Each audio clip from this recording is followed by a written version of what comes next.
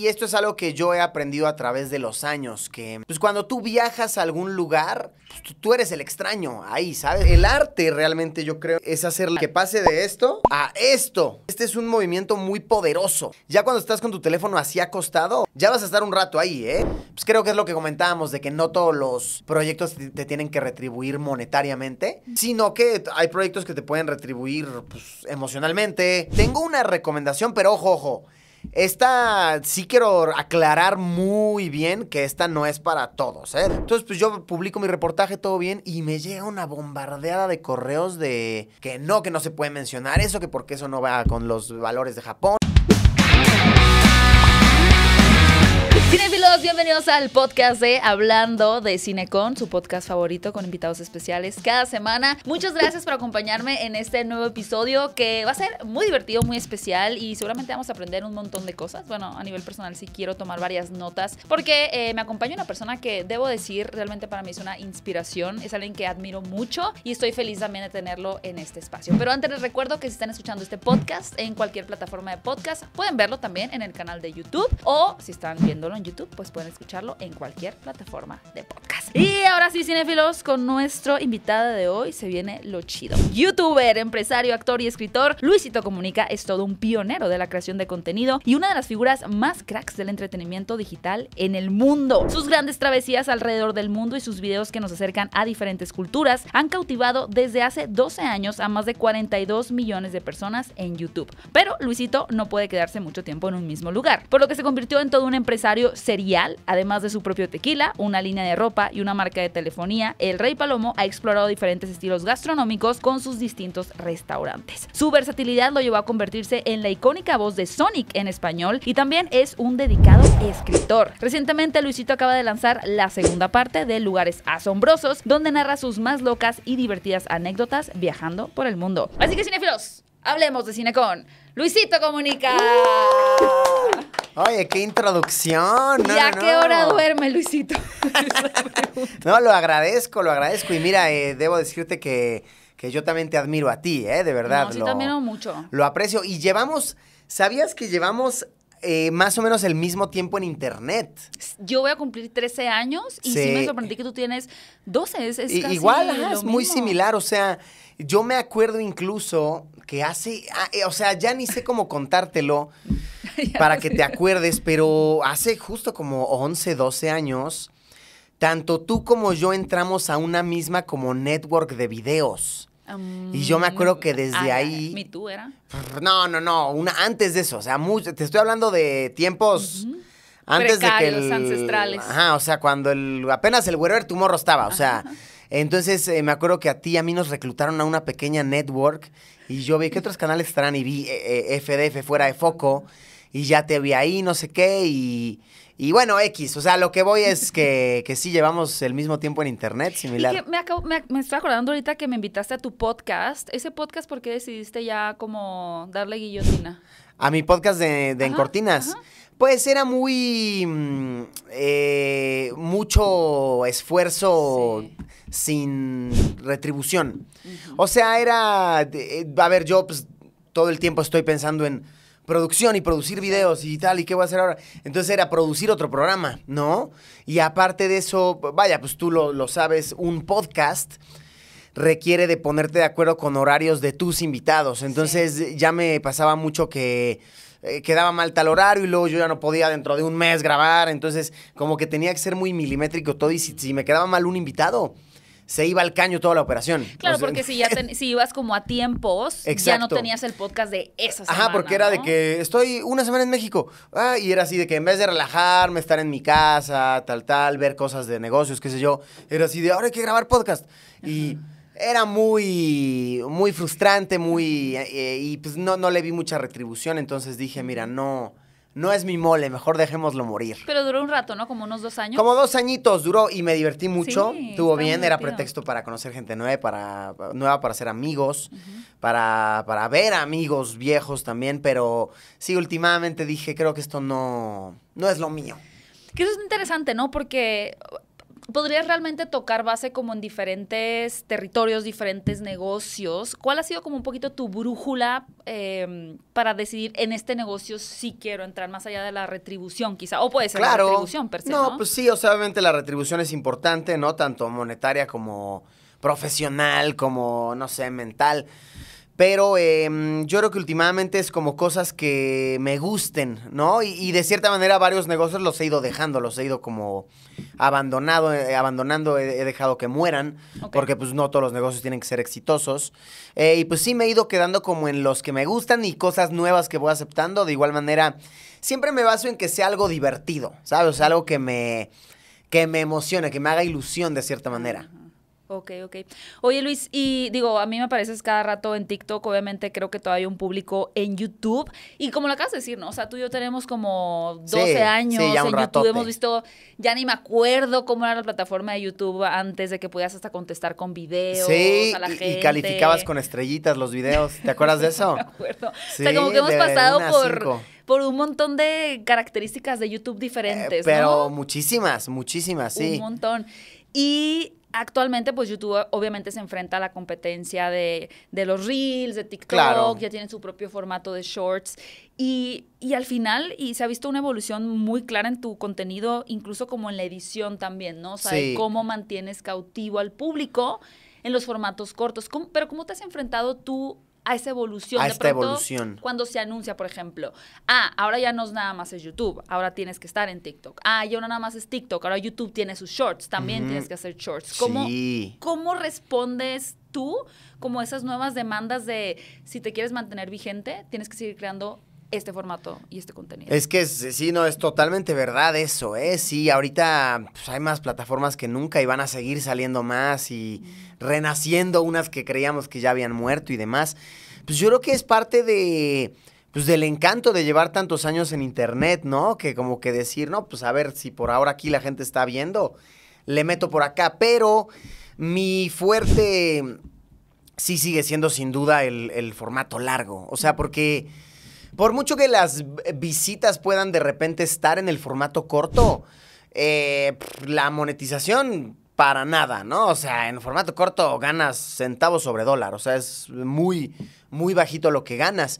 Y de igual manera la retención del público y creo yo también la, eh, el, ganarte fans más que seguidores, mm. sino fans como gente que se clave contigo, con tu contenido, con lo que haces, con lo que comunicas. Porque yo, siempre lo defino como que es tan sencillo como las plataformas de shorts. ¿Qué, haces? Esto, ¿no? Y es un constante escroleo todo el tiempo, ¿no? Así, ta, ta, ta, ta. Y la retención de atención es de unos 20 segundos y vámonos al que otro y al otro. Ay, mira, ya un perrito. Y mira, ahora algo de viajes. Ay, mira, ahora, ¿sabías que este, esto pasó en la ciudad ayer? Ah, mira, entonces es un bombardeo aquí. E, el, arte realmente yo creo en estar, e, e, es hacer lograr que el usuario haga esto con su teléfono, ¿sabes? De vertical horizontal. Sí, que pase de esto, que estás así, a esto, que este es un movimiento muy poderoso, ¿sabes? Ya cuando estás con tu teléfono así acostado, ya vas a estar un rato ahí, ¿eh? O sea que estás cagando en el baño y vas a estar ahí cinco minutos o tres minutos o lo que sea, y luego vas a volver a hacer esto y vas a volver a ver, vas a buscar otra cosa y vas a hacer esto, ¿no? Entonces yo sí le apuesto muchísimo al, formato largo, full. Em, por ejemplo, en Facebook, ¿no? Que te, que te maneja monetización también, tanto en corto como en largo, puedes ver evidente. En YouTube de igual manera, o sea, es eh, muy clara la diferencia de retención de usuario, ¿no? Y también, pues, de la monetización.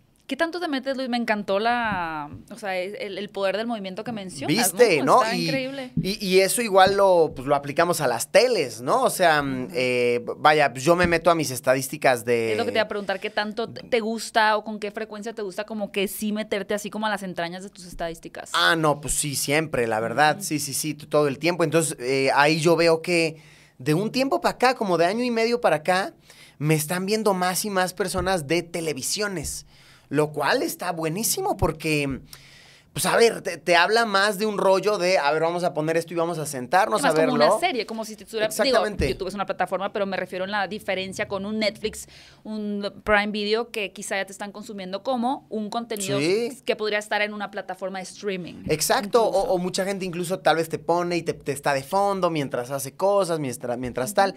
Y está buenísimo porque los anuncios en tele. No sé si tú veas YouTube en tele, pero Sí, sí, son largos. O sea, son como que le, le afecta menos al usuario echarse un anuncio en la tele que en el teléfono. Entonces, en el teléfono puedes saltarlos por lo general los 5 segundos. En la tele, por lo general, son de 15 sin saltar, ¿eh? Entonces, pues retribuyen mejor, retribuyen más chido. Y esto de igual manera ayuda de repente ponerte a ver tus videos en la tele, cómo se están viendo, ¿no? Porque a veces se ven re bien en el teléfono. Y luego lo ves en la tele y dices, híjole, aquí la iluminación se vio gacha, híjole, aquí se vio medio pixeleado, aquí se vio medio tal. Entonces, eso, pero sí, no, full, yo, o sea, obviamente pruebo suerte con formatos cortos, pero mi dedicación está al, al largo, ¿no? Que no sé si te has dado cuenta, o sea, pasa un fenómeno bien curioso. Yo siempre me alargo hablando en tus Me, me encanta, yo feliz. No sé si te has dado cuenta que mm, pasa mucho ahora un fenómeno con, eh, con creadores, sobre todo de contenido corto, A ver. que ahora más que nunca se ve esto, que de repente en cosa de seis meses ves canales que crecieron de 0 a 5 millones de suscriptores. Tú dices, ¿qué demonios, qué clase de monstruos son estos, no? O sea, ¿cómo lo están haciendo? Y ya que te metes a los canales, ya incluso ya hay un, hay un término en la comunidad youtuber para estos canales que les llamamos los canales de shorts. Ah, los ajá, canales sí, de, shorts, shorters. Puro shorts, ajá. Ajá, y que es muy curioso que tú te encuentras de verdad con canales que tú dices, wow, en seis meses creciste 7 millones de suscriptores. Video corto, ¿no?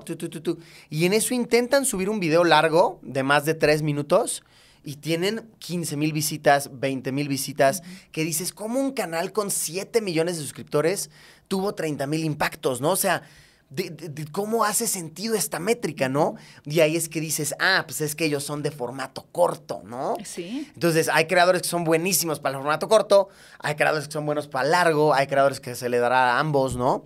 Pero pues sí, yo creo que es como encontrar tu, tu nichito y yo estoy muy agradecido de, de poder ser... Pues yo- Formato yo, largo. yo largo, la verdad, porque... De anuncios largos. Sí, sí, porque pues retribuye más, retribuye más chido, este, creo que en general está mejor, te da más tiempo de ponerte creativo, de eh, producir un mensaje más complicado, ¿no? De, pues sí, de hacer videos más complejos sin esta limitante de, no, es que tiene que estar así paradito y tiene que empezar así y tiene que tener una explosión en el segundo dos, que si no el usuario ya hizo esto y ya se salió, ¿no? Creo que tiene un encanto muy especial y muy diferente el que alguien te dé clic y que no le salgas a alguien. No, porque que también es una gran diferencia de por qué monetiza más un formato largo. Que al formato largo tú decidiste buscarlo, darle clic y ponerle pantalla completa, ¿no? Sí. El corto, pues te apareció. O sea, como que fue de que yo estaba haciendo así y apareció y me quedé cinco segundos y pues ya por eso ya contó la visita, ¿sabes? Sí. Entonces creo que es muy diferente, pero sí es, es importante intentar adaptarse a ambos formatos. Pero te has adaptado mucho.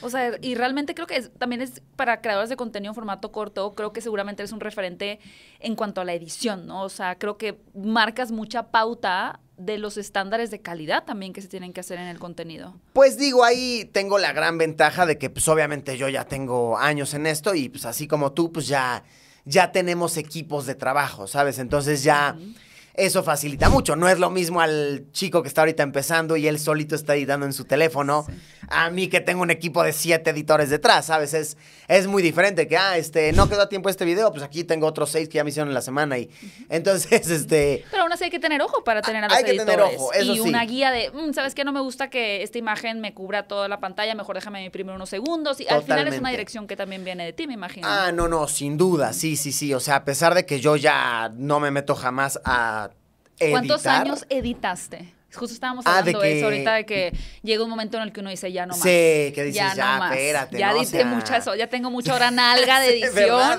de quemarme así las pestañas en cualquier programa que hayas usado, de que ya edité 10 años, ya. Es verdad. Ya nunca, y ya nunca más quieres editar. No, no, Como no, que es- te gradúas de editar. Te, te gradúas, ¿verdad? Mira, yo edité eh, solito para mi canal, yo creo que como, a ver, nueve- Siete como siete años. años, ah, como unos siete añitos. Sí. Y ya de ahí fue que empecé a delegar, porque al principio es muy común este chip de, no, es que nadie lo sabe editar como yo. Es que yo solamente sé esto, yo solamente sé tal. Pero ya luego fue que yo empecé como a probar y a entrenar editores. Y pues sí, hasta la fecha la verdad es que nada se sube sin que yo lo vea completo. O sea, sí me... Vaya, cada video que publico sí tiene mínimo unas tres rondas de cambios. O sea, sí es de que primero me mandan un crudo. Veo, veo, veo, hago anotaciones, ta, ta, ta, ta, ta, y, y luego va otra versión, luego va otra versión, y ya la puliditita ya al final es la que ya se... Es la que ya se publica. Ese es otro esquema que estoy implementando ahora en mi, en mi canal. Eh, estoy siendo un poquito más cuidadoso con la, pues sí, la calidad, la verdad, de, de, lo que subo. Antes, la verdad, yo era muy, pero de verdad, incluso religioso con la frecuencia en mi canal. O sea, de que de verdad, años, años, años, años, yo te publicaba cuatro reportajes a la semana, tres a la semana y así. Y subía tres y yo decía, ay, fallé, ¿sabes? Como que yo tenía ese chip mental.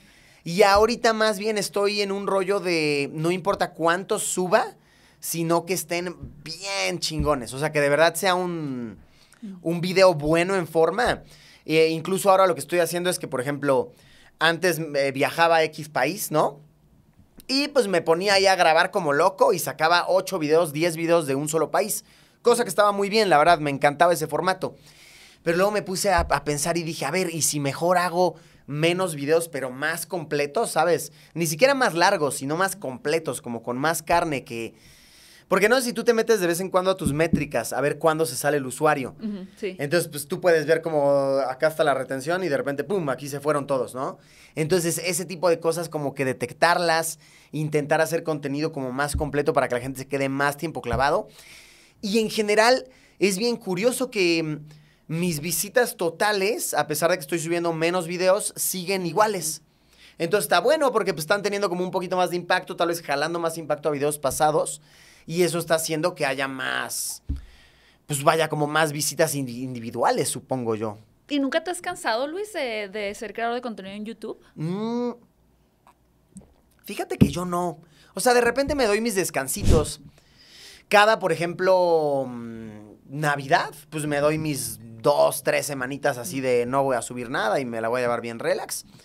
Pero en general, fíjate que no, ¿eh? No me, gusta mucho, o sea, me, apasiona mucho lo que, lo que hago y sobre todo el, tipo de contenido que he logrado hacer. Eh, que creo que es lo que más a mí me, me, enorgullece y me apasiona. Pues como que siempre he tratado de probar como pues algo diferente y pues el, el, hecho de estar en constante movimiento todo el tiempo y aprendiendo de otras culturas y demás, como que de verdad no me, pues no me aburro ni me cuestiono, o sea, como que de repente sí me hacen la pregunta de, ¿y, en un futuro qué, qué, qué tal? No, pues YouTube, la neta, o sea, no, no, no me veo en otra cosa. De repente igual y venderle un proyecto a alguna plataforma, ¿no? Se me hace rarísimo que no te hayan querido buscar para una plataforma. No, o no. Quizá no se ha logrado más bien a lo que esté. E, exacto, o sea, han salido oportunidades, pero nunca lo suficientemente buenas.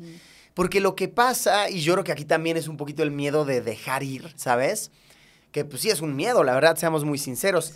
Lo que pasa es que muchas veces este tipo de proyectos pues son tan ambiciosos que requieren de mucho, eh, pues, de, todo tu tiempo, ¿sabes? Entonces, eh, sí me han hecho varias propuestas de, oye, vamos a producir tal serie, vamos a hacer tal cosa, pero requiere que, pues, de plano dejes de hacer videos seis meses. Que yo digo, híjole. Y luego yo, la verdad, soy muy orgulloso del hecho de que pues, o sea, yo siempre me jacto de, pues yo subo lo que yo quiero, ¿sabes? Como que, y eso a mí me encanta, sí, ¿sabes? autonomía en tu contenido. Exactamente, que hay autonomía, que si no salió hoy, salió mañana el contenido, no importa, porque yo decidí porque pues yo soy el que mueve este, esta maqueta, ¿sabes? Y como que creo que no me encanta que me estén diciendo, es que esto no lo puedes decir, es que esto lo vamos a quitar de la edición porque no me gustó, porque tal. Y yo decir, oh, esto es mío. Pero estoy seguro que algún día voy a vender algún proyecto de índole que sea alguna plataforma. Es, sí, no, naturalmente va a pasar, obviamente va a pasar. Que, que también experimentaste, me estoy acordando ahorita, con un cortometraje que dirigiste, que era ficción. O era una serie. Mm, ah, ya me acordé. La cárcel. Ya, ya, ya, ya, El Greña se llamaba. sí, sí, es cierto. Sí, dirigí esa. Bueno, no, no es cierto, no la dirigí, porque hay que aprender a diferenciar roles, ¿no? Ajá, que no eras director, eras actor. Produje, yo. Ah, lo produces, Ajá, lo- yo la produje y bueno, y también pues, actué, obviamente. Si podemos llamarle eso actuar, ¿verdad? sí, era actuación. Pero, pero sí estuvo bien divertida. Sí, lo, lo dirigió un, un colega, Esteban Chaires, este, muy bueno. Eh, la coproduje con una, con una amiga, con Titas. Este, y sí, sí, sí, estuvo bien divertido porque era una inquietud que yo tenía porque en aquel entonces todo surgió porque en aquel entonces yo estaba muy de moda como en los memes, como en el mundo de los memes. Ok. Así como en los chavitos como que me compartían mucho.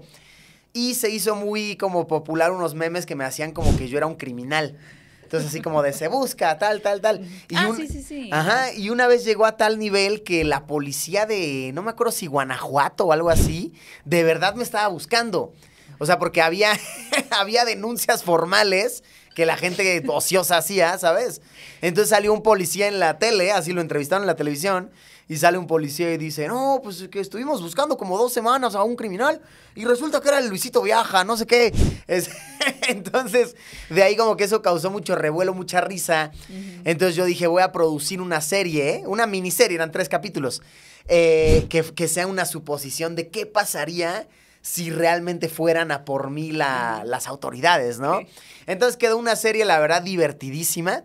Para el primer capítulo conseguí a la voz de Dross, o sea, Dross que nunca le contesta a nadie, así es, es la persona de las más aisladas que conozco del internet, ¿sabes? Ok. Y yo dije, pues a ver si me contesta, ¿no? Pues chicle y pega.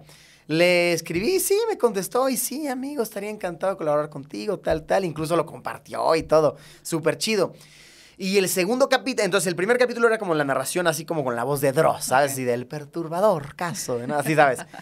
El segundo capítulo estuvo bien chido porque ese en cuestión de producción estuvo complicadito porque tuvimos que conseguir una cárcel, tuvimos que conseguir como ciertos escenarios, ¿sabes? Y el tercero, que es un capítulo en el cual se supone que me vuelvo homeless a raíz de que estuve en la cárcel, igual pues fue mucho grabar en la en las calles, conseguimos un par de casas abandonadas que parecieran así como calles medio pues rascuachonas. Este, y sí, la verdad fue un proyecto bien divertido, pero desde ahí no me he aventurado a hacer algo más del rubro. ¿Pero te gustaría? Como, digo, actuación, pues podemos entrar también en el tema de, de Sonic, ¿no? Pues tal vez, ajá, pero híjole, así como tal actuar, actuar, pues yo nunca lo he hecho, ¿eh? Así yo nunca he así realmente actuado. He hecho comerciales, por ejemplo. He hecho pues ciertas cositas, ciertos sketches, ¿no? Pues yo creo que sí es acto. O sea, creo que al final el tener una comodidad ya con la cámara, o sea, que a ti Pues de- sí, tener una ¿verdad? cámara aquí te parezca muy familiar, sí es actuar. O sea, al Sí, final no, es que, no es que sea muy diferente quizá tu personaje a tu persona. Eso. Pero sí hay un pequeño switch para con la audiencia. Y Hay sí un es pequeño esa switch. actuación. Sí puede ser. También no se podría ser considerado actuación, yo creo, cuando hace muchos años yo tenía un crew de amigos creadores que éramos los No Me Revientes. Y pues eh, para los canales de algunos hacíamos de repente sketches. Y pues ahí actuábamos todos. Yo creo que también podría ser llamado actuar eso, ¿no? Sí. Te aprendes un diálogo Ya puede ser con que estábamos eh, hablando antes de entrar a, mm, a- a la grabación, de que me decías que debía ser una, un video que hiciera la diferencia entre el conjuro, Insidious. Exactamente, sí. Ajá, ahí. Tú ves un montón de cine. Yo- Luego veo yo tus sí. opiniones en historias de películas que ves y que... Sí, no, no, yo... Compartes. Sí, sí, soy... Cinéfilo. Cinefilón, sí, la verdad, sí, me, me gusta. O sea, disfruto mucho del cine, disfruto de ver que está en cartelera, como de, no sé, pues sentarme en mi sala, echarme un porrito y me meto a Movie, que es como la plataforma de pelis, así como... ¿Tienes movida? Qué interesante. Sí, sí, claro, la consumo seguido, sí, sí, sí. Y mm, como que ahí encuentras cine como muy... aquí, Más alternativo. muy, ¿Sabes? y me encanta, o sea, de verdad me encanta y me pongo a ver y de repente te encuentras pelis que dices, qué basura fue esta. Pero de repente dices, ah, wow, qué bonita peli me encontré y cómo más la hubiera encontrado. Sí, Movie es gran, gran plataforma, ¿eh? Me gusta mucho. Oye, ¿cómo, o sea, cómo decides qué ver? Mm, ¿Qué por te lo llama la general, atención? eh, por lo general como por sugerencias de plataformas, o sea, como que digo, me gustó tal película, entonces me meto a la película y veo qué me sugiere abajo, o si no me meto, por ejemplo, a Reddit y en foros de cine, así como que busca así como de, por ejemplo, mm, no sé, películas de miedo. A mí una de mis favoritas de todos los tiempos es La Bruja, ¿sabes? Este, The Witch, con Anya Taylor-Joy. Exactamente. Entonces, por dar un ejemplo, eh, te metes a Reddit y pones películas similares a La Bruja. Y te encuentras foros que a huevo te van a sugerir algo. Porque luego si le preguntas a Google, te va a decir ¿ya viste el Conjuro 4? Y tú, ay, no mames, güey, Google, o sea, ¿no? Y si Como me que- preguntas, a mí la neta también no te sabría decir. Como, no sé. Yo nunca sé qué ver, por ejemplo. Ese es un buen consejo. Mm, Yo nunca, nunca, o sea, de verdad, yo puedo abrir una plataforma y no- nunca me decido qué ver. Ah, e- eso sea, es no de la burger. ¿Nunca te pasa que ya tienes tu comidita hecha para la película, tus palomitas, todo? Y no decides qué ver. Y ya se te enfrió la comida en lo que decides qué ver. Pero el Reddit o Letterboxd también ahora Ah, es una buena Letterboxd. opción. Sí, sí es cierto. Esa es buena. Esa yo no la uso, pero tengo un colega muy acá, muy refinado, que siempre me la recomienda. Y sí, sí, sí, como que ese tipo de cosas tan buenas para... Sí, para encontrar nuevas pelis, como nuevo, eh, nuevas sugerencias. Y te gusta mucho el terror entonces. El terror a mí me encanta. Ay, no sabía que eras fanático del terror. Mm. No, no, no, me fascina. Yo creo que en cuestión como de cine, pues yo creo que es mi género que más consumo. Me, me encanta, me encanta. ¿Tienes presente la última película tal vez que más te haya perturbado? O sea, que sí se te haya metido un poquito más en los huesos como el, el terror. Que me haya así como perturbado. Pues mira, eh, a ver, esta es la, respuesta más este, cliché, yo creo, para tu audiencia, ¿verdad? Pero No se sabe. recientemente vi por tercera vez ya eh, la película de mm, Midsommar. Que yo sé que para la audiencia tuya están diciendo, ay, no mames, pinche. No, pensé que ibas a decir el impredecible". conjuro porque estamos hablando del conjuro. Ah, no, espérate, no, tampoco me asusto Pero tan que fácil. Midsommar es un poquito más terror psicológico. Sí, como terror psicológico. Y ese es el tipo de terror que me encanta, ¿sabes? Que, Mm. que digo, guau, está bueno. Eh, y recientemente me eché, por ejemplo, la misma de este director con Joaquín Phoenix. Haría. Uy, eso no me gustó. Que, ajá. Bo tiene miedo. Bo is Ah, afraid. Esa mera. Que yo dije, ah, no mames, pues es de este mismo Esa sí director. está para porro, por ejemplo. Eh, ¿Cómo? Es porreable. Esa está, es Exactamente. 100%. Ajá, y que al final dices, no mames, ¿qué, qué pasó aquí, no? ¿Qué, qué- qué situación? Y eso Sí, pasa no. mucho, no se te hace con, eh, con ciertos eh, directores y directoras que de repente, mm, eh, vaya, eh, hicieron un peliculón que te cagas, ¿no? Así. Entonces que ya cualquier estudio les suelta fácilmente 100 millones de dólares. Y de repente el director como que, no sé qué pasa, que se abruma o no sé, y que acabas haciendo películas increíbles, pero que dices, ¿qué pasó acá? Eh, Ah, como que se vuelven más experimentales, quiero decir, ¿Cómo como que sienten más. Pues un poquito le pasó a Demian Chazelle, eh, director de La La Land, Ajá, y sí. luego dirigió First Man del que va al espacio. ah, el de la luna. Y ahora estaba diciendo que ya no sabía si otro estudio iba a confiar en él porque hizo Babylon. No sé si la viste. Sí, sí, sí. Que a mí me gustó A mí Babylon. Babylon me encantó. Pero fue un fracaso en taquilla. Sí, ya sé, Es igual ahí. nominada a nada, sí, sí, sí, raro. No vi nada, nada. O, o- o igual similar con. Y digo, digo este comentario con todo respeto, ¿no? Pero con, con el maestro Iñárritu, ¿no? Que, vaya, todos Por respetamos Bardo. mucho. y- Ajá. que, que, pues, güey, era de que tenía una racha de que peliculón, peliculón, peliculón, peliculón. Y en eso Bardo, ¿no? Que, puta, no sé cuánto le va a haber costado esa película. Está carísima esa peli. No, la escena esa del Zócalo con todos amontonados. ¡A la madre! O sea. Ahí yo vi un millón de dólares en pantalla, ¿eh? O sea, de que a la madre. Y al final dices, wow, qué, qué acabo de ver, ¿no? ¿A, a dónde se fueron 100 millones de dólares? ¿Qué los van a recuperar? O sea, ¿qué, qué, qué- cómo, qué pasó aquí, no? Y creo que pasa mucho con, vaya, pues lo que decíamos del el director de Bo is Afraid, ¿no? Ari... Ari Aster. Ari Aster se llama, exacto. ¿Qué pasa esto, no? Que llegan a tal renombre que les dan unos fondos interminables y al final hacen cosas que dices, no entendí, ¿no? Por ejemplo, ¿no te pasa eso con... ¿Cómo se llama este director súper hypeado de Gran Hotel Budapest? Este, Ah, Wes Anderson. No, pero ya la Por última ejemplo- película de Wes Anderson, que era la de Asteroid City. Asteroid City. Ah, tampoco me gusta. ¿Verdad? esa. Ajá, que- que ya dices, parece "A una huevo". parodia de Wes Anderson. ¿Verdad? Que dices, ah, Wes Anderson, güey, no, no fallas, ¿no? Y en eso, la de Asteroid City, la anterior que hizo, la de... La que eran varias historias en una. Ah, ese sí me gustó, de French ¿Ese sí te gustó? A mí, Sí, Nel, pero no, no gustó mucho. Ajá, como que sí, dices, órale, qué... ¿Qué acabo de ver y quién no aprobó 60 millones de dólares para este proyecto? ¿Sabes? O sea, ¿qué, ¿qué está pasando aquí? Estas películas que son más autorales, como que son de directores de blockbusters. Ajá.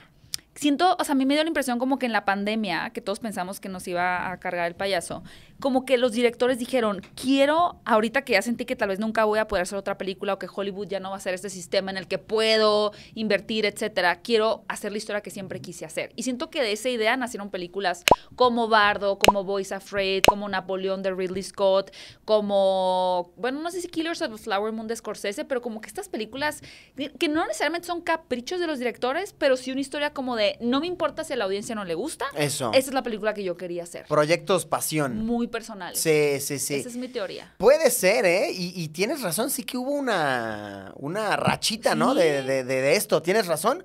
Y tal vez es eso, tal vez fue el pensamiento colectivo de el mundo se puede acabar. Es que luego es bien interesante. es ahora o nunca. Sí, es bien interesante analizar el tipo de películas que se hacen durante cada generación. O sea, como películas cuando era la Guerra Fría, que de pronto tienen más que ver con el fin del mundo. Digo, Godzilla es un resultado de la, del miedo a la guerra nuclear, por ejemplo, ¿no? Los japoneses.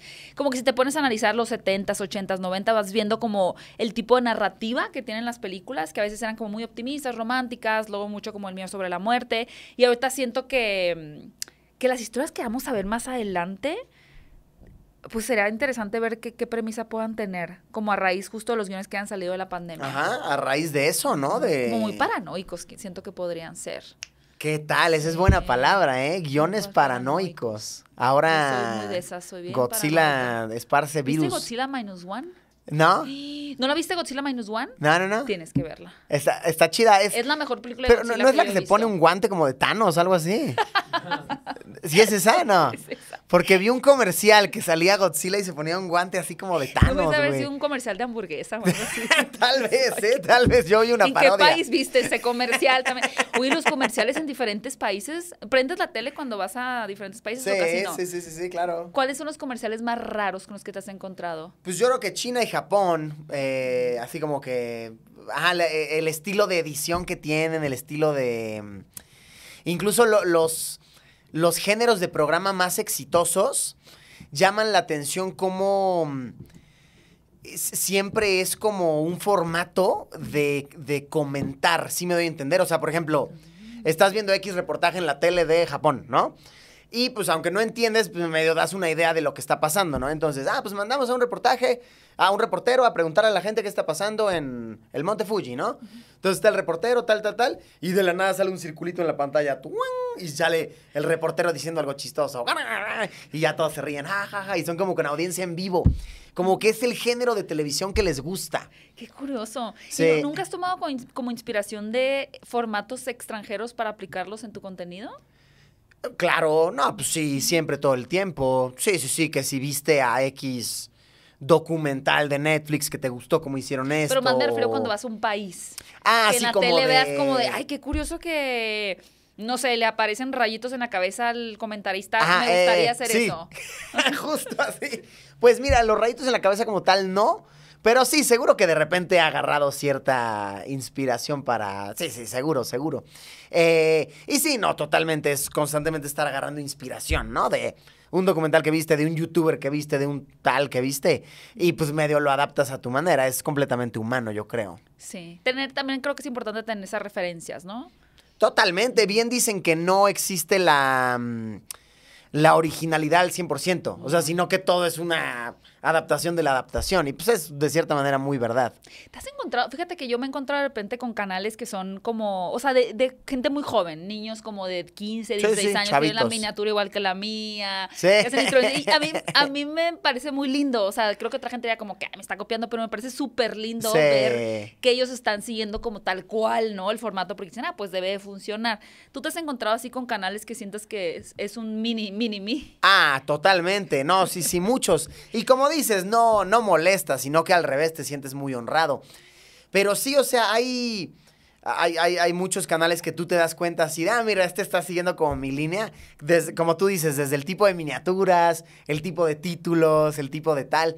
Eh, y de repente te encuentras con canales que son ya bien exitosos y que están literal pues, haciendo como un, una adaptación muy, eh, pues vaya, muy en forma de lo que tú haces, de lo que llevas haciendo mucho tiempo. El otro día me encontré con un canal exitoso, ¿eh? Eh, un canal grande. No de shorts. Eh, de Shorts, sí, Ah. era de Shorts, ju- justamente era un canal de Shorts. Y digo, no, no, no voy a decir el nombre porque no, no, no quiero hacer quedar a nadie. O sea, y, y repito, no me molesta, ¿eh? es un honor. Pero eh, le voy a inventar un nombre, ¿ok? Digamos que se llama Paco. Entonces, tenía una sección que decía, esta será una misión para Paquillo, el dragoncillo. Y yo dije, no mames, güey, ese es Luisillo el gordillo. Ay, de qué mismo tipo de edición y todo. Y yo dije, órale, qué, qué curioso. Eh, pero ojo, no, no, no, no molesta al revés, es una honra. No, honra y solamente saber si te que- conociera sería la persona el más feliz. Ah, claramente no, lo conocí el otro día, lo conocí. Ah, ¿lo no, no, no, y ah, lo conocí. Y sí, seguramente te dijo No, que y me dijo así de que, güey, no, yo me basaba en ti mucho tiempo, no sé qué. Y le dije, ah, pues mira, qué, qué honor, o sea, me siento muy, me siento muy honrado. Porque, pues sí, dentro de todo es, creo que lo, creo que es lo más bonito, ¿no? De tantos años de trabajo, así que de repente encuentras a alguien que te diga, Te veo desde que tengo Ah, cuatro años y tú, pues, "Ah", ¿cuántos tengo así, yo? "A la madre, ah, sí, que ya pasa, ¿verdad? Sí, de que yo te veo desde que estaba en la secundaria y yo. Ah, sí, sí, ya güeyes con barba, ¿no? te vio desde que tenía 10 años y tú, ay, cabrón. Sí, sí, te lo ¿Cómo? No. Sí, sí, pasa. Uno, uno, es como cuando, me imagino conocer a Roger González, ¿no? Pero yo creo que eso le pasaba a Roger, que por ejemplo yo lo veía en Disney Channel, yo era una niña, pero pues él también estaba joven, es como, te veía cuando estaba chiquita, pero pues él sigue estando joven. Desde lo- Ah, bueno, también es eso, tienes razón, ¿eh? Sí, sí, sí, sí, claro, que muchas veces, va- vaya, no significa que te veía jovencito, sino que somos de la misma edad y simplemente hemos crecido juntos, Ajá, ¿no? Y es, exactamente. es, es bonito de cierta manera eso, ¿eh? ¿Nunca te has puesto a pensar en la estadística de cuántos de tus números en tus redes ya estarán muertos? Sí, una vez lo pensé. Dura, dura reflexión, ¿no? Sí, sí, sí. O sea, de que sí o sí tenemos a muchos Pero de repente fantasmas ahí. sentí muy feo. Sí, pero luego sí, YouTube sí. como que depura, ¿no? De repente sí, hay depuraciones. Sí, sí, sí, de, De repente hay depuraciones de cuentas inactivas y así. Pero algunas habrán ahí, ¿eh? Vaya, vaya dato perturbador. Ya vi que sí te gusta mucho el terror. Esa es una buena premisa, ¿eh? Y tú te has metido muchos, a muchos lugares asombrosos. Ah, te iba a preguntar, digo, vamos a entrar en materia del libro también. que Ah, tengo aquí gracias. conmigo. Véanlo, si están viendo el video. Aquí está. Lo pueden encontrar en todas las librerías, está, ¿verdad? Sí, en, en prácticamente todos lados. Está choncho, ¿eh? Verdad, pero fíjate que no es porque sean muchas páginas, sino por el tipo de papel. Porque No, pero me estábamos. No, está chido. A mí igual me gusta que está macizo. Pero estábamos viendo con el equipo que de los libros pasados que, que- que he publicado, pues tienen el mismo número de hojas. O sea, que si 300 y tanto, 350 por ahí tendrá, De no sé. 298. Ah, 298 tiene este. 300, ah, no, espérame, 300. Bueno, ahí te voy. 300, 300, es que este ya no tiene, es la conclusión. 301. 301. Ah, entonces incluso es más corto. eh, entonces, pero por el tipo de papel. em, Para las fotos, sobre Para todo, las ¿no? fotos y demás, y la tinta y demás, como que se engruesó este. pero. No, está muy lindo. ¿Verdad? Quedó bien bonito. Sí, quedó bien bonito. Oye, tú, o sea, ahorita que mencionaste como los suscriptores muertos y demás, y tú que te has metido a rincones bastante espeluznantes del mundo, ¿qué tanto crees como en las energías? O sea, y que también te has topado con muchas culturas, diferentes creencias. ¿Qué tanto crees como que el, el meterte con diferentes, en diferentes espacios y luego regresar a tu casa, que te traes energías? ¿Crees en ese tipo de cosas? Yo la verdad no creo en ese tipo de cosas. O sea, yo creo que es la percepción de nuestra mente, ¿no? Que nos juega trucos y nos hace jugarretas. Ve la película Smile. ¿Ya la viste? Ah, Sonríe. claro, sí. Bueno, esa sí está muy maltripiante. Eh, Esa está chida, Sí, esa me sí, gustó, sí. esa me gustó.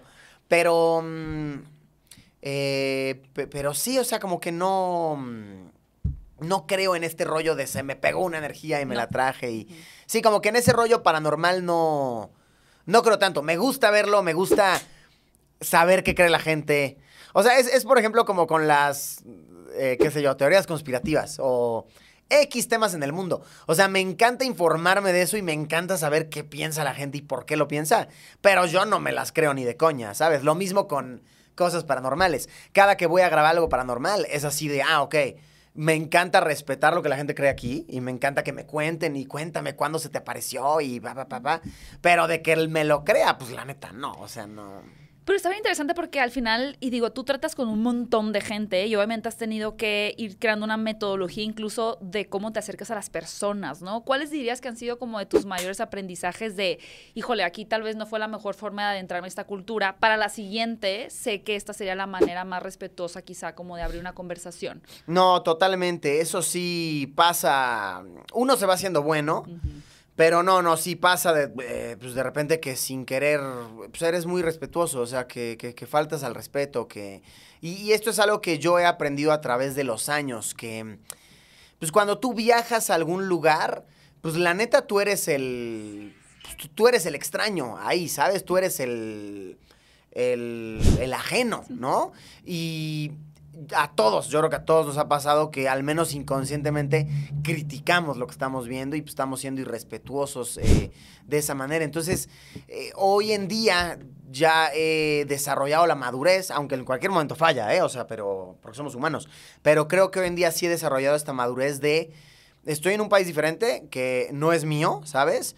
Yo soy el raro aquí y pues lo voy a respetar como a mí me gustaría que respetaran mi país, ¿sabes? O sea, a mí no me gustaría que llegara un güey de otro lado acá y en los puestos de comida de la calle estuviera, ay, qué asco, mira cómo hacen la comida, ay, mira toda la grasa, ay, pues no, como que dices, güey, qué pedo, pues vete, ¿no?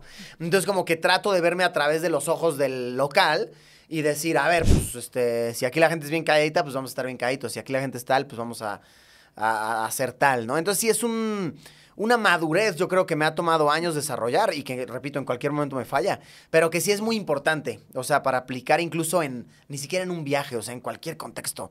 Vas a la casa de un amigo, vas al, al negocio de, de un conocido, etcétera, o sea, como que siempre intentar de interpretar eso, o sea, yo aquí soy el invitado, yo aquí no, no tengo nada que ver. ¿Cuál fue tu primer viaje? No me recuerdo, tú tienes clarísimo. ¿no? Pero ¿cuál fue el primer viaje que hiciste en el que levantaste contenido?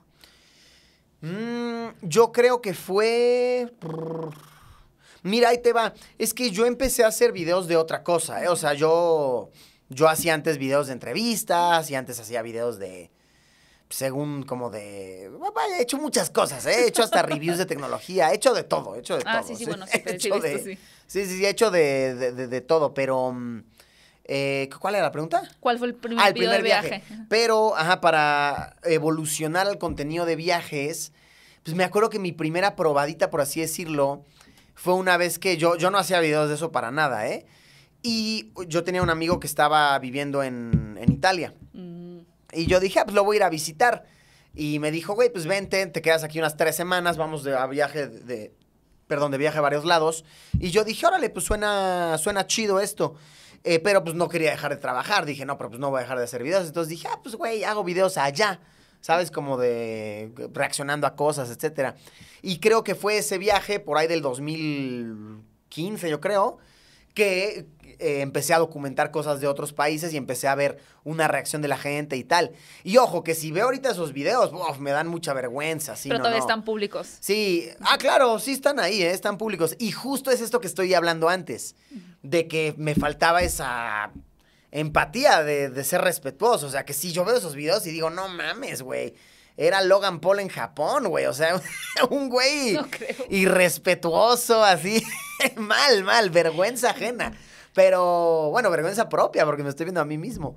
Pero pues dejo esos videos ahí porque pues es parte de, ¿no? Y, y a ver, sí, pues, he puesto que- muchos en privado míos, me dan vergüenza. también yo, ¿eh? De repente algunos, y de repente algunos que, de repente, pues yo antes me expresaba muy... eh, Siempre soy groserito, pero antes era muy grosero. Entonces, de repente, pues he quitado ciertas cositas, este, que pues no benefician al canal. Claro, para que sea más familiar. Ah, o que digo, pues no sé, en cinco años este tema se vuelve tabú y es algo canceladísimo. Y sabes, como que, como que, eh, sí he intentado cuidar un poquito ese aspecto. Oye, que, que mm, bueno, hablamos de eso más adelante para no Sí. quitarle también espacio al libro. Sí, sí. Pero, ay, ya no hemos hablado de Sonic tampoco, pero quiero hablar de- del libro que... mm, Además hay una exposición que puede ver la gente en una librería. Ah, sí. ¿Hasta cuánto va a estar? Porque esa exposición están fotografías tuyas que están descritas un Sí, poquito sí, donde sí. las tomaste. Fíjate, como parte de la promoción del libro, eh, hicimos una expo, como que dijimos, queremos hacer una activación divertida, diferente, ¿sabes? Entonces conseguimos, eh, gracias a nuestros amigos de Porrúa, de Editoriales Porrúa, eh, pues ellos se rifaron con el espacio, tienen un espacio, la verdad, increíble en el centro, en la calle Argentina. Eh, arriba en el que hacen expos, en el que hacen eventos, lo rentan, etcétera. Eh, ruedas de prensa, todo este tipo de cosas. Y nos lo prestaron justamente un mes para hacer esta activación del, del libro. Entonces, digo, no sé cuándo sale tu programa, pero En caso de que lo estén viendo antes de que salga el, antes de que acabe el mes de mayo, el- hasta el 26 me parece que está la expo. Y pues pueden ir en el horario que, que sea en el día. Es gratis, este. Y está padre porque es una expo en la cual pusimos muchas fotos. Algunas del libro, otras inéditas, otras como de, de otras aventuras. Que creo que están chidas, como que traen una descripción ahí cool. Y de igual manera ahí yo puse varios como artículos que he coleccionado en viajes, ¿sabes? Que de repente son artículos de lo más...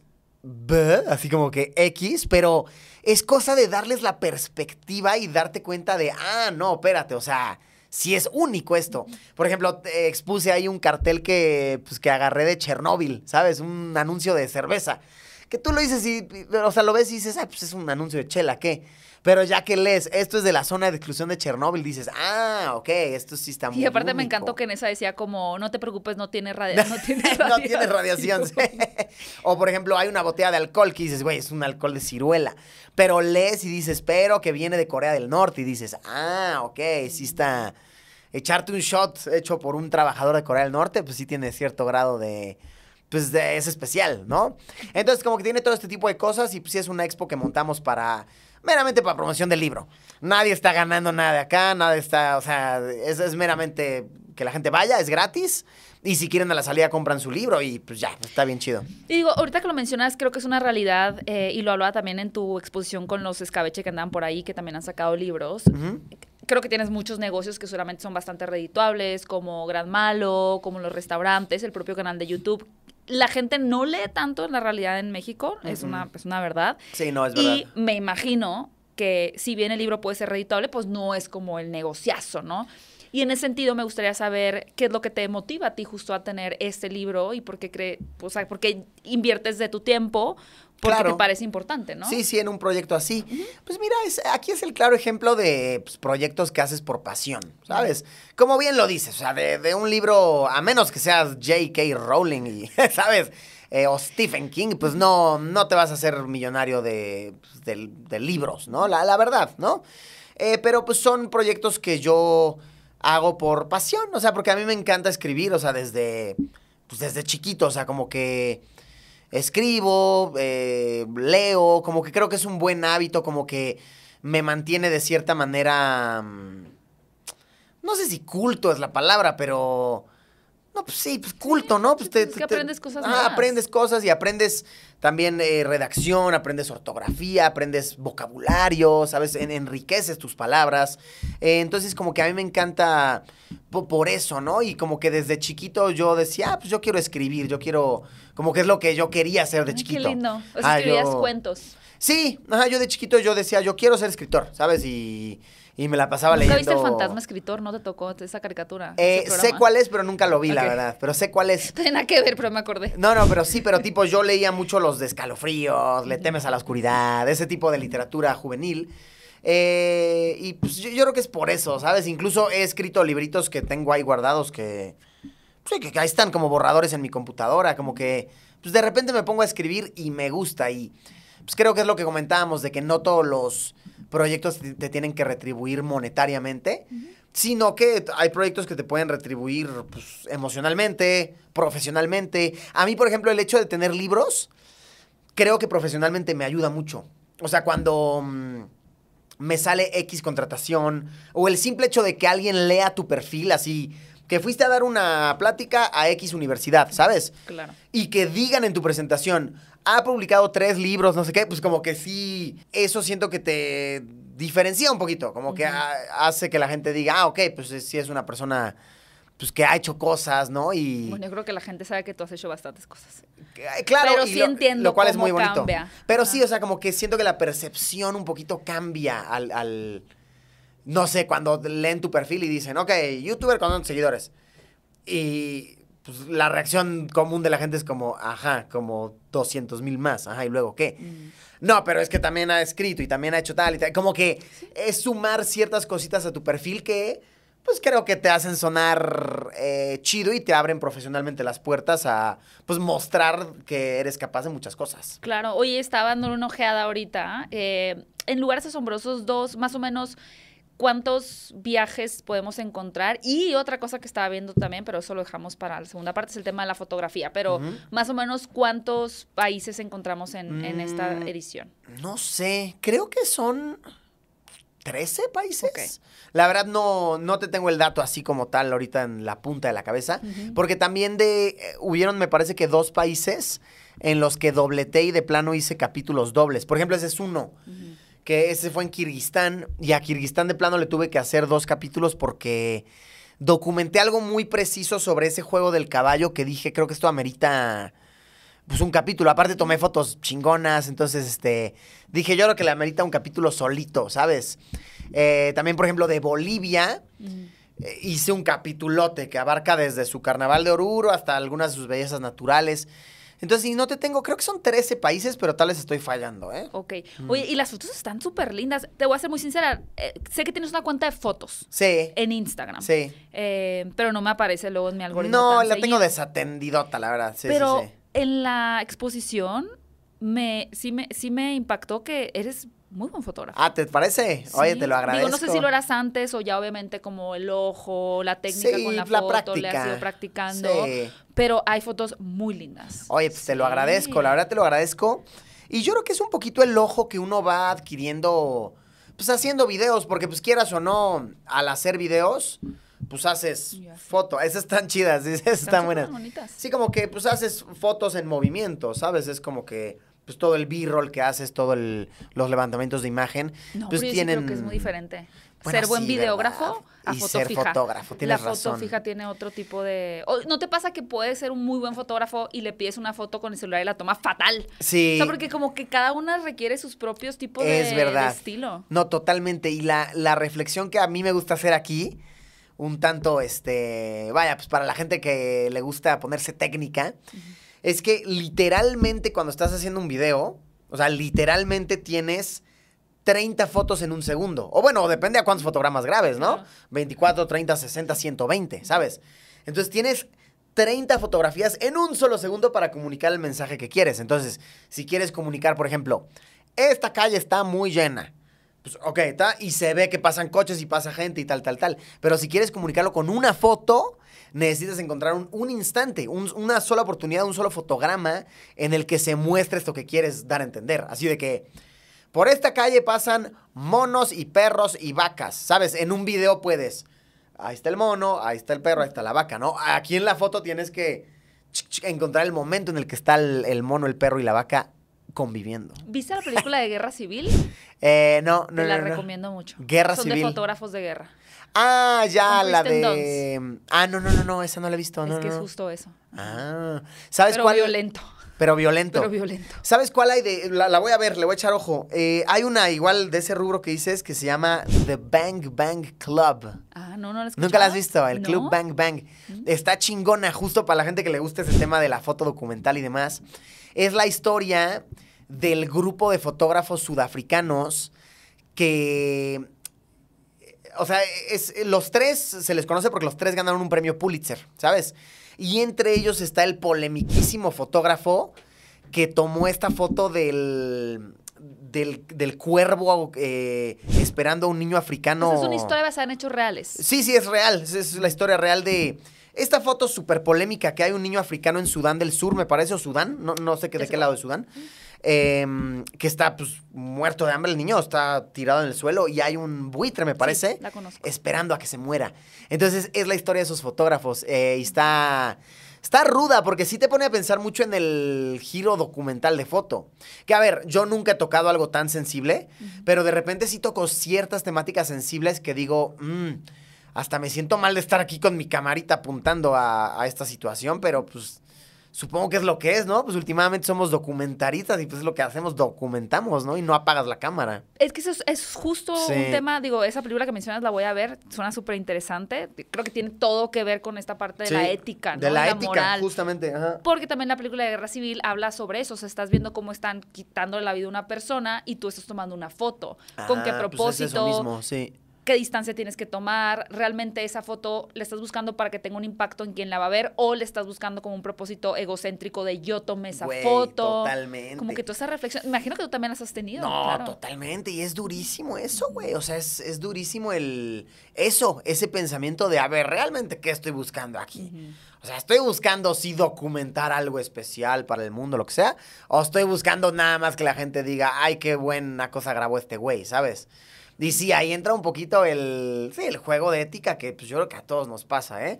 A todos los que hacemos documental yo creo que nos pasa y que nos hemos encontrado con ciertas situaciones que dices, chin.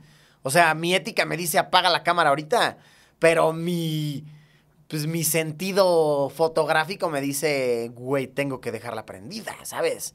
O sea, no sé, cuando ves en X país a niños con armas, ¿sabes? Y dices, verga, esto está objetísimo y, y- y- ajá. Pero a la vez, pues creo que el mundo tiene que enterarse que esto está pasando, ¿no? No, no, no sé, como que es, es una batalla mental. Y está bien interesante, Luis, que lo menciones, porque ¿qué tanta responsabilidad sientes que te, te da la gente como ahora que haces, eh, bueno, documental de, de viaje, como de justo eh, abrir el panorama de situaciones mm, de conflicto en otros países? ¿Sientes que la gente como que te ha depositado esa responsabilidad? Pues no sé si responsabilidad, pero sí es algo que pasa, ¿eh? O sea, sí es algo que pues, de repente te involucras en. Pues sí, en situaciones que tú no te imaginabas que eran o sumamente políticas, o sumamente, sabes, que el país quiere censurarlas, eh, y que tú abriste cierto tema pues, sobre esta situación, ¿sabes? Por ejemplo, a mí me, me, llam- me llama mucho la atención, no sé, un ejemplo de polémica reciente. Eh, las cárceles del Salvador, ¿sabes? Que están muy sonadas. O sea, de verdad, literalmente cientos de medios las habían cubierto, ¿eh? O sea, y estamos hablando de televisoras grandes y que si CNN la ha ido a grabar y que si la BBC Si tú y... googleabas o buscabas en YouTube, te Ajá, y- aparecía. Y, te salía, o sea, y, y bloggers habían ido antes y todo mundo había grabado las cárceles del Salvador. Pero en eso va Luisito Comunica a grabar las cárceles del Salvador y le da una nueva perspectiva y la gente ahora sí como que se ataca y dice, ay no, los derechos humanos y tal. Y debates que no se habían tenido, ahora se están teniendo gracias a que este youtuber fue a grabarlo, ¿sabes? Y dices, ¿por qué? O sea, ¿qué tiene de especial esto? Y pues yo creo que se resume a eso, a que pues, la, la gente te da cierta responsabilidad de tratar ciertos temas. Eh, y cuando lo haces, pues como creo que como uno tiene el ojo de hacerlo ver como muy real, muy crudo, lo que es, ¿sabes? Y narrarlo como es, pues es que realmente se levanta este tema y dices, a ver, no me lo está diciendo el noticiero que cada semana me llega con una noticia igual de heavy, me lo está diciendo este güey que, ¿sabes? En el que pues tengo más como credibilidad. No, no sé, no sé a qué se deba, pero sí pasan este tipo de situaciones bastante, ¿eh? Bastante. Apenas me pasó, por ejemplo, que, bueno, es- es- estoy, estoy con ese rollo ahorita, que pues yo fui a documentar un lugar en, en Japón, ¿sabes? Em, que, pues vayan, en este lugar pues, se narra mucho que habían situaciones pues de esclavos, de... eh, provenientes de China, de Corea, etcétera, ¿sabes? Y pues es parte de la historia. Yo creo que todos los países tienen su historia jodida, ¿no? Y es, es lo que es, ¿no? Sí, como aquí que nadie cuenta que mataban a los chinos. Eh, por, en por el ejemplo, norte. ah, ese tipo de cosas, sí, sí, sí, sí, claro, ahí en, en Ensenada me parece que Sí, es. como por Mexicali, Sí, Sonora sí, sí, también. Hay un día de matanza de que mataron un montón de chinos y nadie Ah, habla horrible. de Y, eso. y- y todos tienen este lado oscuro, ¿no? Claro. Entonces, pues yo publico mi reportaje, todo bien, y me llega una bombardeada de correos de, de agencias que llevan eh, ese sitio histórico de Japón, que no, que no se puede mencionar eso, que porque eso no va con los valores de Japón y que tal, tal, tal. Y dices, órale, están tratando de esconder todavía su...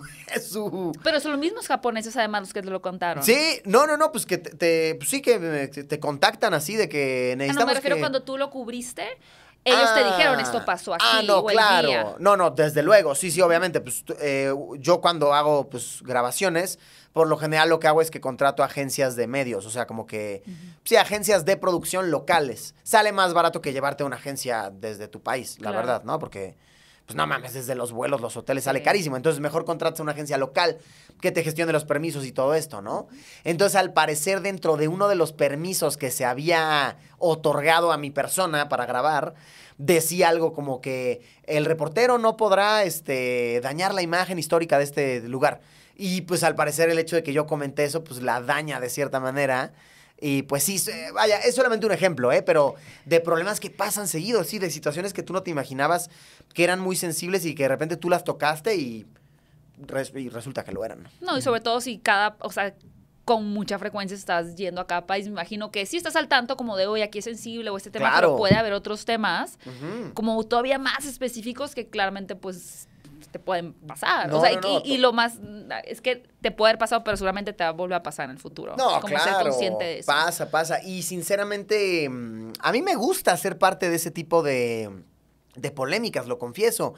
Porque son polémicas valiosas, ¿sabes? Son polémicas eh, pues, con, con carnita, polémicas que te dan que pensar, polémicas, polémicas que te cultivan, ¿sabes? No es lo mismo tener una polémica de, ay, este, este güey, este, lo vieron con una morra en tal lado. Así, ¿sabes? Una polémica toda pendeja, así de chismes, que vas a salir en el TV Notas, a una polémica de, ah, este güey levantó temas sobre los derechos humanos en el mundo.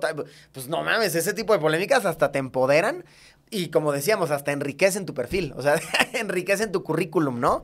Y pues son polémicas valiosas de las cuales yo me, muchas me enorgullezco y, eh, y ni siquiera diré que las busco, pero cuando llegan, digo, ok, está bien que mi mensaje haya causado esto.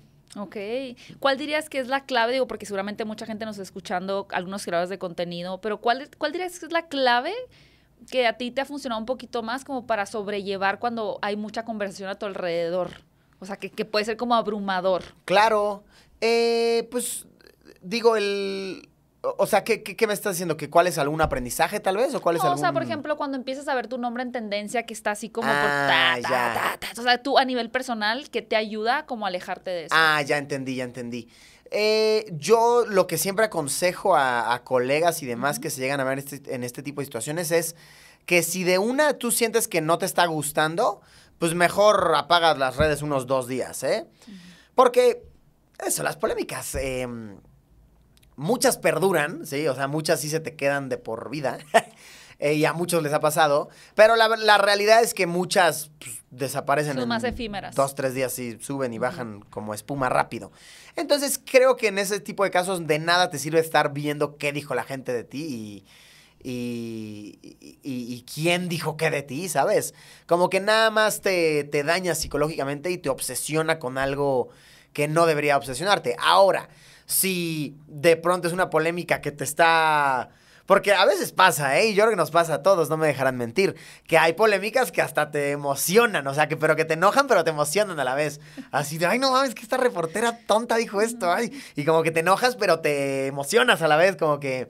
eh, a, a muchos nos gusta este hype, ¿sabes? Nos gusta este... La adrenalina, dices. Esta adrenalina, llamémosle, ¿no? Entonces, si eres de esos, pues órale, métete a leer y métete a responder en Twitter y a mentar madres, ¿no? Y pues chances o te gusta. Pero por lo general es mucho más saludable, pues no. eh, pues no checar un ratito y luego ya nada más te enteras del resumen y listo. Yo, yo, la verdad tengo la gran fortuna de, pues como te digo, de tener un equipo de gente. Entonces cuando de repente hay una polémica que no me está gustando y que digo, oh, qué hueva, esto me está consumiendo la mente para mal, pues lo que haces es, oye, este, ayúdame, please, a monitorear esto y si de plano está muy grave, avísame y si no, ni me llames, o sea, ajá. Claro. Y pues ya tienes a alguien que te está monitoreando las redes y monitoreando el impacto. Y hay muchas herramientas para esto, ¿sabes? Que si Google Search y ves qué tan buscado está tu nombre o qué tan buscado está este tema y qué tan... O en Twitter también es muy eficiente esta, esta herramienta, ¿no? Y así puedes ver cómo está el impacto. Claro, porque para, para tu mente puedes leer unos 15 comentarios o 40 o 50 y sentir Claro. que todo el mundo está hablando de eso y de no pronto ves en. Twitter y nadie está hablando de eso. Es verdad, es, es totalmente verdad. Ajá, muchas veces mm, eh, pasa que mm, te, te llegan a tus redes personalmente muchos eh, comentarios atacando tal acción que hiciste, ¿no? O X cosa.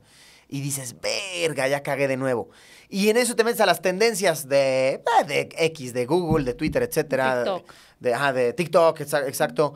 Eh, y de repente ves que no aparecen para nada en tendencias y dices, ah, bueno, creo que me, me estoy ahogando en un vasito de agua, ¿no? Y a todos nos pasa. Oye, Luis, de, para ir cerrando un poquito, de tu... ¿Cuál, cuál es el último restaurante que inauguraste? El último restaurante que inauguré fue, se llama Daigo Sushi. El Dego, sí. Sí, es aquí en... Pero en abriste Roma. una barra ahora como más Sí, especializada. una barra ¿verdad? como especializada en, como que, pon tú que te- tengo yo junto con mi socio, no sé si llamarle cadena, puede ser cadena, este concepto que se llama Daigo, ¿ok? Y dentro de Daigo salen variantes, entonces tenemos el Daigo principal, ¿sabes? Que es como un restaurante mm, muy variado de todo tipo de comida japonesa auténtica, que por cierto ya estamos trabajando en el segundo de esos, va a estar bueno. Y luego le abrimos la variante de Daigo Ramen, que son barras de ramen únicamente, y ahora va Daigo Sushi, que son barras, o sea, apenas va una, pero la idea es que sean varias, Ok. barras de sushi nada más. Eh, y bien, la verdad es que es una experiencia mm, de paladares eh, exigentes. Con wasabi.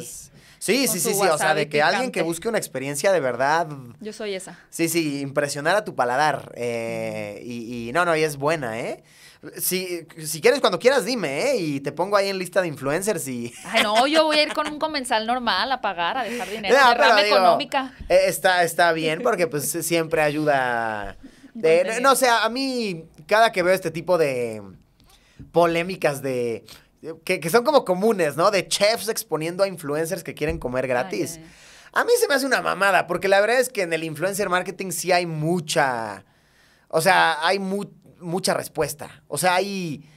Sí sirve invitar a influencers a tu restaurante, la neta. O sea, a menos que seas el puyol y ya no necesites nada de difusión, la verdad es que sí sirve invitar a.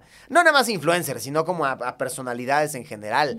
Eh, no sé, leemos sus comentarios de, de restauranteros, pero en mi, en mi opinión personal, pues claro que sirve, sí, sí, sí. Y, y claro que en los restaurantes hacemos eso, tenemos listas de. Ok. Y si voy, ¿cuál es el platillo o el sushi que más me recomiendas? Mira, yo el, el que el que yo suelo pedir Sí. y que creo que es un eh, vaya, incluso un buen platillo para un paladar que no esté tan buscando algo tan extremo, porque por ejemplo, hay quien dice, a huevo, yo sí quiero lo auténtico, auténtico, y vas y pues ahí te hacemos tu nigiri de erizo de mar, Ajá. E increíble, ¿no? Y te va a encantar, pero pues no es para todos, ¿no? Entonces, un platillo que a mí me encanta, ¿sabes? Y que creo que sí es como para todos, es el nigiri de salmón flameado Mm. con limón caviar, que, que, eh, vaya, que es esta especie de limón alargado que aprietas y salen bolitas como si fueran caviar, es muy específico. Le ponen wasabi recién tallado, que eso igual es algo muy específico, ¿eh? O sea, en todos lados te venden la masa del wasabi ya así. Pero aquí literal llega el brother, el maestro sushero, y en tu cara te lo, te lo talla, ¿sabes? Para que esté fresco, fresco. Y se le pone una rebanadita mamalona de trufa encima. No, no, no, ¿qué? ¡Wow! ¿Qué tour eh, le das a tu paladar, eh? O sea, una, una experiencia. Entonces, ese sería como Una mi fiesta consentido. patronal en el paladar. Exactamente, sí, sí, todo mundo. Sí, sí, fiesta en mi boca, vénganse todos. Es... Ah, no, eso sonó horrible, perdón. Sonó horrible eso. Sonó feísimo. Pero entendimos. Pero entendimos, el- sonó horrible eso. Vaya, no? vaya, eh. ¿O no? Vaya, vaya, eh.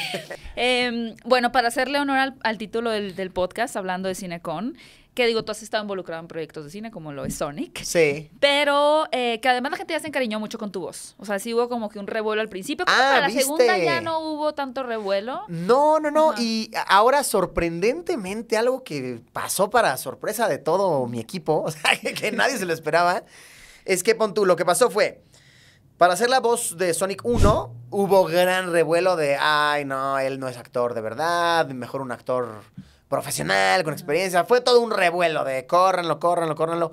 Por suerte no me corrieron. Y pues salió la primera peli. Entonces yo creo que a la gente le gustó. eh, y para la 2, la verdad es que ya no hubo revuelo. O sea, como que fue así como de, ah, ok, pues otra vez, chido, ¿no? Y ahora para la 3, algo curioso que sucedió es que salió una serie de, de Sonic producida por, bueno, de Knuckles. De no Producida por Paramount Plus, tengo entendido. Eh, y aquí le cambiaron la voz a Sonic. Entonces yo empecé a ver movimiento en redes, me empezaron a llegar muchos mensajes y demás. Y yo dije, aquí vienen a cagarse en mí, así de a huevo, por fin lo quitaron. O sea, como que yo dije, esa va a ser la reacción de la gente. Y no, para sorpresa de todos, la reacción fue la contraria. Fue así de, no, queremos a Luisito de vuelta, queremos a tal, queremos a tal. Entonces yo dije, órale, qué, mm, qué, qué inesperada y agradable sorpresa. Entonces esperemos que para la 3 yo pueda hacer la voz porque veo que al, al fan le está gustando y la verdad es que a mí también ese proyecto me... O sea, me encanta. O sea, poder darle la voz al erizo azul. Y que te lleven a la cumplido. premiere en Estados Unidos, ¿no? E- Eso estaría. Conozcas a Jim Carrey. Eh, Pero es que luego las agendas no machean. Mm. Ese es el problema, que luego. Sí, las agendas andan ocupadas, ¿no? Pero. Pero sí, o sea, como de lugar, o sea, me encantaría formar parte del, del nuevo proyecto de Sonic, porque pues sí, me he encariñado, ¿no? Y, Sí. y ya hacer tres pelis ya podría ser, hice la trilogía de Sonic, ya, Claro. ya para la cuatro ya no me contraten, pero la trilogía mínimo está chido, Para la cuatro ya está no. bueno. Oye, Luis, y ya, eh, eh, ahora sí para cerrar con el tema de cine, ¿cuáles dirían que han sido algunas de las películas que más te han impactado? Ahorita mencionaste en el documental que me encanta porque no lo había escuchado y Sí. está fabulosa. ¿Cuáles han sido para ti como esas películas que eh, pasan los años y los años y siempre se te vienen a la mente cuando te preguntan como tus películas favoritas? Como mis pelis favos. Sí. Eh, a ver, no sé si. Es que películas favos hay. Es muy extenso, ¿no? Realmente es sumamente extenso ponerte a hablar de eso. Pero así como recientes que tengo ahorita en, en la cabeza, un documental que me encanta, que me parece brillante, es uno que se llama Sal por la tienda de regalos, Exit Through the Gift Shop. Oh, a ver. Es un documental hecho, ¿tú lo conoces? Levansky, ¿no? Eh, Ajá, de Bansky. Eh, ¿Ubicas Bansky, el, el artista Sí. ajá, eh, urbano? Urbano. Hizo un documental padrísimo en el cual enaltece a la vez que se caga en todo su trabajo. O sea, como que te dice, ajá, sí, nuestro rubro de artistas cajeros está chido, pero también es una estafa por esto y también es una... eh, Depende de qué tanto lo infles, de qué tanto lo hypes. Básicamente sigue la historia de un güey. O sea, ni siquiera es de él el documental. O sea, lo lo dirigió Bansky. Eh, Tendrían que verlo. Incluso lo encuentran en YouTube, ¿eh? Así todo piratota. O sea, no, no, no es un documental con gran difusión. No, no va a estar en Amazon Prime. O sea, lo encuentras en YouTube o en. ¿Qué sé yo? Así en cualquier plataforma, ajá. Y básicamente sigue la historia de un güey que de artista no tiene nada, pero se puso a imitar a todos los artistas y acabó vendiendo millones de dólares en obras. Entonces es un poquito como una burla al trabajo del arte, a la vez que enaltecerlo, ¿sabes? Es. Ese documental me encanta y me encanta la manera tan sencilla como está hecho. O sea que es calidad YouTube, ¿eh? O sea, no, no, no tiene mucho... Mucha pero está- producción, Ajá, ajá. pero está bueno y sí lo nominaron creo que al Oscar y todo el pedo. Sí, sí, sí. Ha- Hace ya pues, varios años cuando salió. Entonces, ese es uno que la verdad me, me fascina. Eh, igual en género de documental, uno que me, uf, me encanta, que ese yo creo que sí la audiencia lo conoce más. eh, Bowling for Columbine. En español creo que se llama El Día Sangriento o algo así. No sé. No, sé cómo lo pusieron en español. Pero es de este documentarista, un gordito acá todo cagadito barbón, que se llama Michael Moore. Ah, de Michael Moore. Ajá. Eh, él hizo este documental hace ya varios años sobre la situación de las balaceras de escuelas en Estados Unidos, ¿no? Eh, que bueno, tristemente ahora es un tema más grave, ¿no? Como que ahora hay más. Uno pensaría que con, no sé, uno siempre piensa, si hicieran una película de esto cambiaría la mente de la gente, pero pues como que luego no, ¿verdad? Pero bueno, el chiste es que trata todo este tema de las armas en Estados Unidos y de los niños y de cómo son influenciados y... No, no, me encanta, o sea, igual ese, ese es un docu que a mí me, me fascina, me fascina. Y ya de películas ficcionadas, a ver, déjame pensar en una... Bueno, mencionaste Midsommar. Mencioné Midsommar. ¿Viste ajá. The Northman? Sí, buena, Ok, también, buena buena, buena, buena. Pues también es de este director Robert Eggers, creo, ¿no? También, sí, sí, sí, es buena. Sí, bastante cinéfilo, Luisillo. Más o menos, Sí, o sea, sí eres. me gustan de repente ciertos directores y digo, ah, pues voy a seguir a este güey. Ese güey también hizo la del faro, ¿viste esa? Buena también, creepy. Em, De hecho, son sus únicas tres películas. eh, ¿Cómo crees? Sí, sí. Ha es, hecho tres eh, Ah, bueno, punto. eh, Robert Eggers es La Bruja. Ajá, sí. Porque dije Ari Aster antes, ¿no? No Eh, me equivoqué. nos Ari. Aster es, Ari eh, Aster es- es es Midsommar y. Hereditary. Exactamente, ajá. Eh, y Boys Afraid. Exacto. Robert Eggers es La Bruja, El Faro y The y, Northman. y la de Northman. Ah, qué loco. Sí. O sea, esas son tus, tus tres pelis, Sí. punto. Ah, pues menudo director, ¿eh? Wow. Qué locura, qué locura. Ay, así de ficción. Mm. Eh, déjame pienso en alguna chida, no sé. Apenas vi una peli buenísima. A ver. Se llama Sonata en Tokio. Mm, sí sé cuál es, pero no la he visto. Sí, sí, sí, buena. La viste en movie, ¿eh? suena eso. La, ah, la vi en movie, claro que la vi en movie, en 100%. movie. No, no, no, buena. Esa la tengo ahorita clavada en la cabeza porque recientemente estuve en Japón. Y estuve ahí como tres semanas más o menos y pues, vaya, estuve en esta travesía como conociendo a mucha gente, platicando a mucha gente y tal. Y eh, conocí a, o sea, de verdad, digo, con ayuda de amigos que hablan japonés bien, ¿no? Em, conocí a dos taxistas que nos contaron la misma historia de que ellos en algún, a ellos en algún punto los despidieron de su trabajo y por vergüenza a su familia, a, su, a sus esposas, a sus hijos, nunca les dicen. Entonces caen en un vicio de, pues me voy a apostar al casino, me voy a hacer pendejo a la banca del parque, porque aparte algo que pasa en Japón, en el mundo godín, en el mundo de los, eh, de los kaishain, de los salarymen, les llaman, em, es que si a ti te corrieron de un puesto, luego no vas a poder conseguir otro igual, o sea, vas a tener que empezar desde abajo en otra empresa, ¿sabes? Así que tú ya eras el vicepresidente aquí y de repente te cambias de empresa, no vas a ser vicepresidente allá, o sea, tienes que empezar desde abajo. Ah, wow. Y es, es loquísimo, es algo que pasa mucho en el mundo empresarial. Y esta película, Sonata en Tokio, lo relata muy bien. O sea, justamente es la historia de un grupo de, de- más bien de un par de, de oficinistas que se encuentran en esta situación. Y pues uno incluso acaba haciendo la automatación, ¿sabes? Este, sí, se acaba suicidando.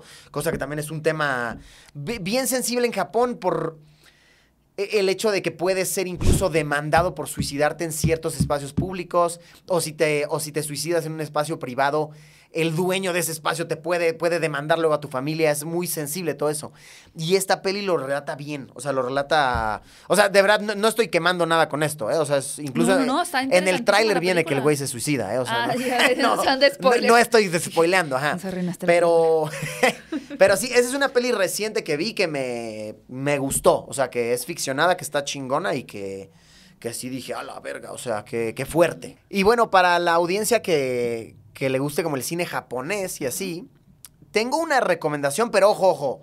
Esta sí quiero aclarar muy bien que esta no es para todos, ¿eh? De hecho, es para casi nadie. O sea, es una, es una peli muy gráfica, muy fuerte de ver. O sea, de verdad, si tienen menos de 18, ni la busquen. Eh, pero es una peli a la vez que te pone a reflexionar mucho, ¿ok? Es, es fuerte. Es de un director que se llama Takashi Mike, eh, que se llama Visitor Q. Ok. Así, el visitante Q.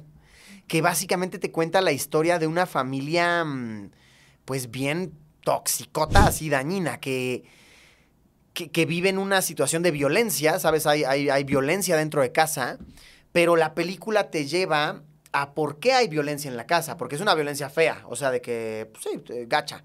Eh, que pues tristemente es algo que, que- que- que pasa, ¿no? O sea, que pues tal vez alguien en la audiencia está en una situación así, y está horrible, o sea, está de la vera, de verdad quiero decirte que lo, lo siento mucho y haz lo posible de salir, por salir de ahí.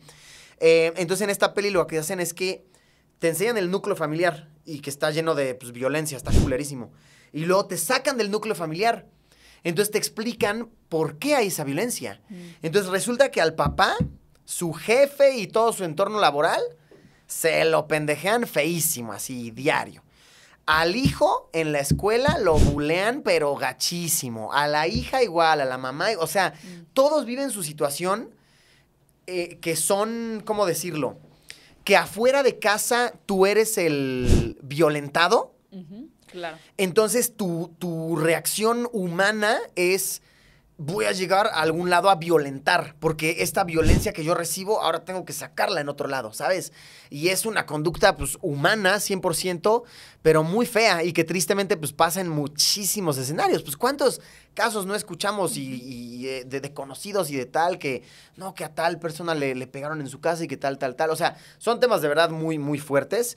Y esta película que te digo lo, lo engloba muy bien y te hace comprender de una manera muy innegable que la violencia genera violencia y que muchas veces para romper el círculo de violencia tienes que, pues tú ser el que toma la iniciativa, ¿sabes? Entonces, sí, sí, sí, un- eh, repito, es una película muy fuerte, pero para aquellos buscando una emoción así como de, ay, wow, como de una película que te impacte, Eso está, sí, sí, sí, es lo que es, ¿eh? es lo que es. ¿Y cómo la encontraste tú esa película? A mí me la recomendaron en Japón y luego me la pasó un amigo con un torrent. O sea, de que pues sí son pelis que no encuentras Claro.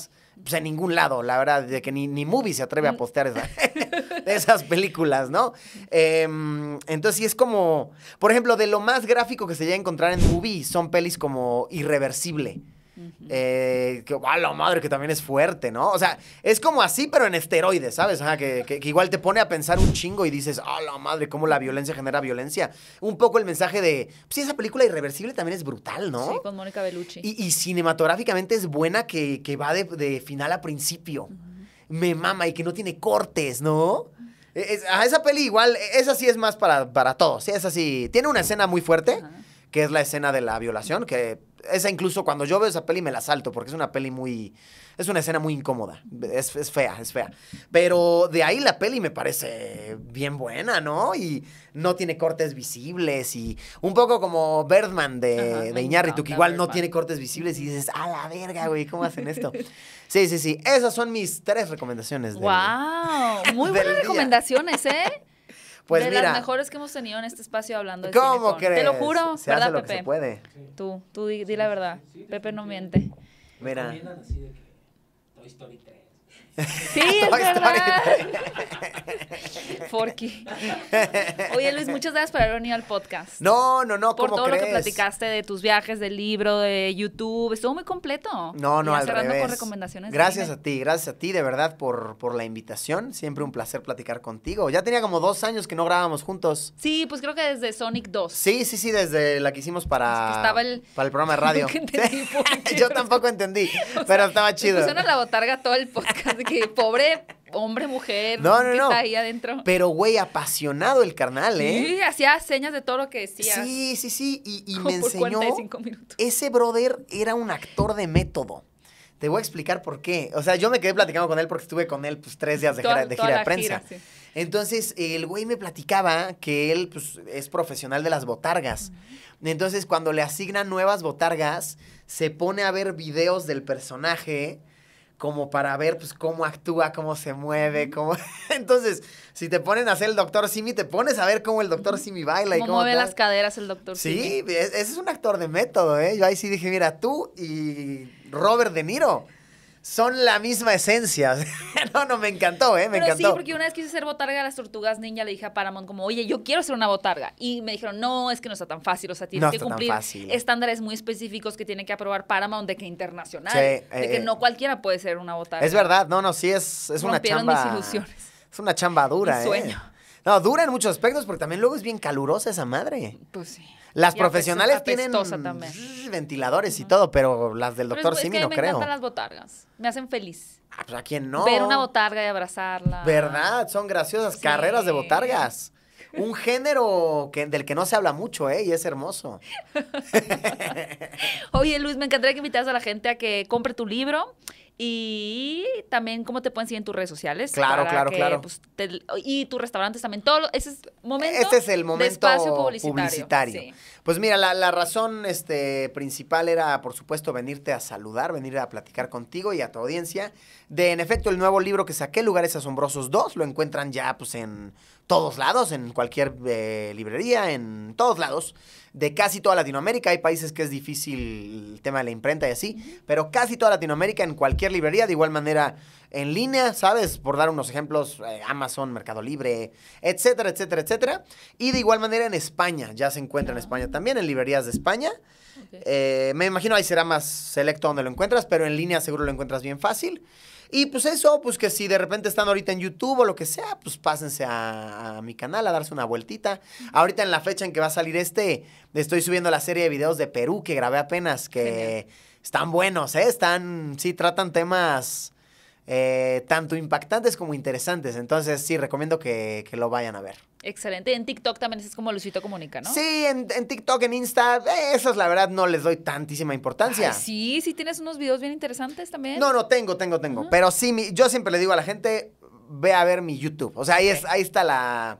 Y los mismos videos que encuentras en TikTok, Insta, los encuentras en YouTube. Entonces, yo siempre hago énfasis en eso. Ese es el, el fuerte. Te voy a copiar. Exacto. Yo voy a decir lo que tú digas. Hacerte, hacerte caso porque eres un, un máster. Van a seguir a Luis, van a comprar su libro. Ahí le dejan los comentarios qué tal les pareció también, cuál fue su capítulo favorito, su país, su anécdota favorita. Y muchas gracias por escuchar este podcast. Nos escuchamos en el próximo. Antes agradecer a Pepe Arch que está en las cámaras El y en los Pepe. micrófonos. Y hoy no vino nadie de mi equipo de Fuera de Foco, pero si hubieran estado también lo agradecería mucho. Se agradecería, ¿no? Y se agradece a, a todos los fans que están ahí apoyando el proyecto y demás. Sí, muchas gracias. Les mando un abrazo. Gracias, Luis. a ti, equipo. no, a ti, Gaby, a ti, a ti, a ti. Y nos escuchamos en el próximo podcast de Hablando de Cinecon. Escucha este podcast en todas las plataformas de podcast. Aquí te dejo con un par de pláticas más para disfrutar y no olvides suscribirte y activar la campanita de notificaciones para formar parte de esta comunidad cinéfila.